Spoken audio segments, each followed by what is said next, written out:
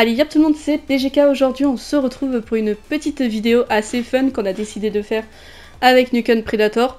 Donc il y a quelques jours, vous le savez, il y a eu la petite mise à jour euh, DLC Tuners. Et en fait, avec ce nouveau DLC, il y a eu un petit ajout qui est potentiellement fun. C'est qu'en fait, la Kuruma est blindée. Donc, il y a la blindée de base, et il y a celle de base. Et celle de base est limite, elle est beaucoup plus blindée que, que celle blindée. C'est assez bizarre à dire, je pense que vous allez le comprendre. On va vous montrer ce que ça donne, il est en train de la custom, ensuite il va revenir avec, vous allez voir c'est assez fun, je vais lui mettre 36 000 balles dans la tronche, ça va rien faire du tout, genre, juste là, là tu tires sur le perso, bah il se prend vraiment 0 balles, tu peux lui tirer de, de n'importe où, et là tu vois vraiment que c'est beaucoup trop cheaté en fait. Hop. Bon après bien sûr si vous lancez un C4, une grenade, un truc de lance-roquette, là il va...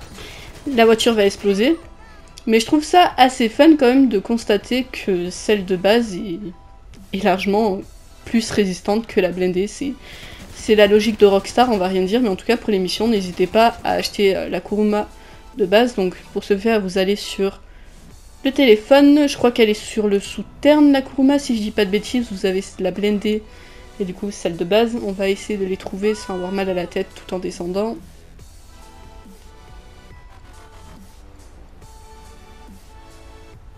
Hop là, donc ici on a la Kuruma Blendée, donc qui a 525 000 dollars. C'est pas donné quand même. Et là tu as la Kuruma de base qui est à 95 000. Donc la différence est énorme, surtout que le blendage sur celle de base est largement mieux que sur la blendée.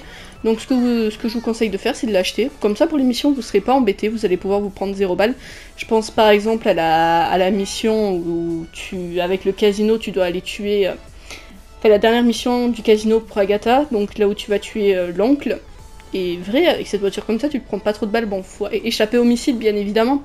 Mais dans les missions, ça peut être vachement intéressant. Donc si jamais, je vous conseille de l'acheter. Moi, je vais faire de même. Là, je vais le mettre euh, dans l'Alta Street.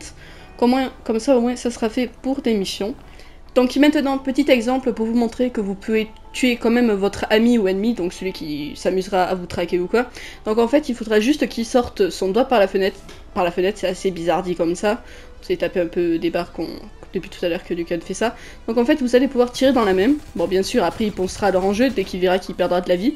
Mais c'est la seule méthode pour que bah, vous tuez votre ami qui est dans la Kuruma, parce qu'en fait, la vitre va se baisser et en fait, le doigt va dépasser euh, de la carrière de la voiture. Donc voilà. Et puis voilà, bon c'était juste une petite vidéo euh, comme ça euh, pour du fun évidemment. Mais en tout cas si vous le savez pas, maintenant vous le savez. Et n'hésitez pas à l'acheter pour vos missions. Merci monsieur Predator d'avoir été là et d'avoir été le, le, petit crash test pour la vidéo. Mais bon.